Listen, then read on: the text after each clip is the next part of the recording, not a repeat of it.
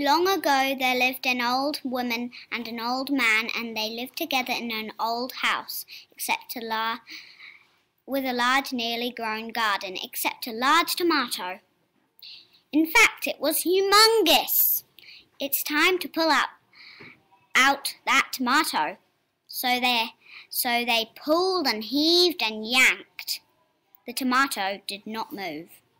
The old woman, the old man, the little girl, her mum, and her dad all pulled and heaved and tugged and yanked.